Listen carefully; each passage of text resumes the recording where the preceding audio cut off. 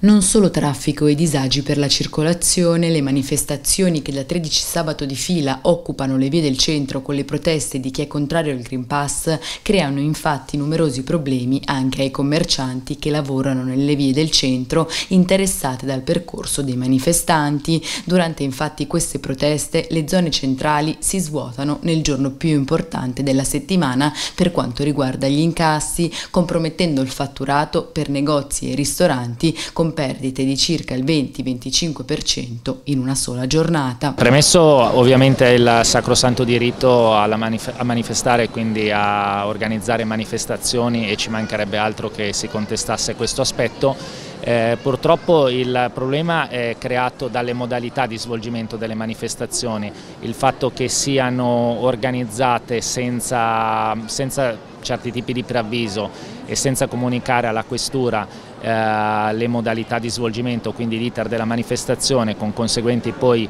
eh, blocchi del traffico crea le nostre attività economiche un danno economico rilevante, prima di tutto perché si svolgono quasi sempre durante la giornata del sabato che è la migliore giornata dal punto di vista lavorativo e degli incassi, in secondo luogo perché confluiscono sempre poi in centro che è la nostra zona di, è la nostra zona di competenza, quindi si vede proprio a un certo punto della manifestazione l'arrestarsi quasi completo del, del flusso pedonale che potrebbe raggiungere i nostri locali. Per i ristoranti nelle vie centrali il disagio maggiore avviene quando le manifestazioni si svolgono nel tardo pomeriggio fino a sera inoltrata, compromettendo così l'orario dell'aperitivo e della cena. Diciamo che in alcuni casi si sono verificate nel, nel pomeriggio